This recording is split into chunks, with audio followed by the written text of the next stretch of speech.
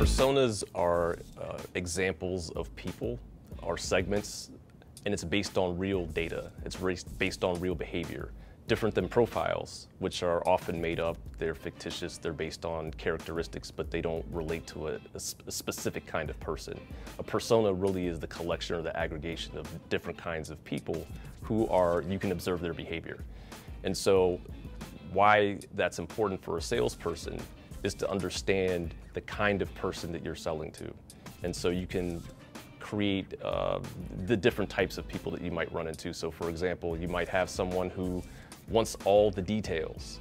And so if your presentation doesn't have details in it in terms of what the benefit and uh, the, the advantages of your solution are gonna be, that's gonna create problems for them. Uh, if you have someone who's a driver, they want the bottom line result, what am I gonna get? They want the big picture and you start with details with the person who wants the big picture, they're going to get frustrated too. And so starting with the big picture, here's, here's what you're going to get from this. Here's the thing that you're going to be able to say to someone the next time you're at a, a gathering. Uh, and oh, by the way, here's how the product works and here are the features and benefits of it. So that's how you would work with that kind of persona. You have some people who want to build a relationship over time. And so it, it takes time to build trust with them. So it's about the trust building process with them. And there are other people who want to collaborate in a more community oriented, and so they want to be able to give a project to help their team uh, demonstrate uh, the value that they bring together when they collaborate. And so knowing that kind of leader is important. So if you understand all those different kinds of leaders, then you can start to tailor your pitch in a way that's going to hit the right notes uh, and, and, making sure that you can do those things. And that just requires a, a, little bit of research to figure out the answer to those, those questions. But understanding the persona of the person that you're selling to is, is extremely important, but will result in, I think, uh, a great deal of success.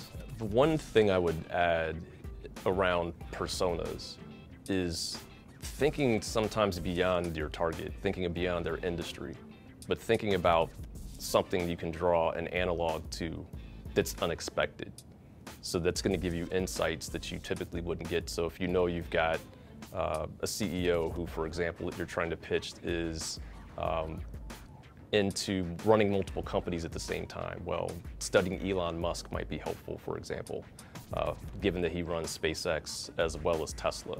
So, you know, what are the things that he does to be successful? Because people want to be successful. And so the more examples you have of other successful people that transcend industry, that could come from sports, it could come from music, it could come from a lot of different places.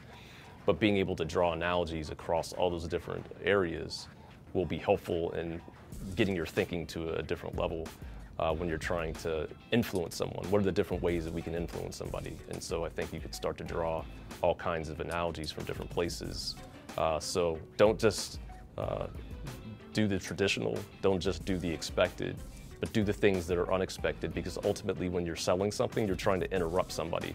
So coming up with something that feels different is helpful because that's interruptive and the more interruptive you can be, the more attention you're gonna draw. And so that's something that I would also think about is all the different things that we can research and learn that are gonna make us come across as, wow, I haven't heard that before.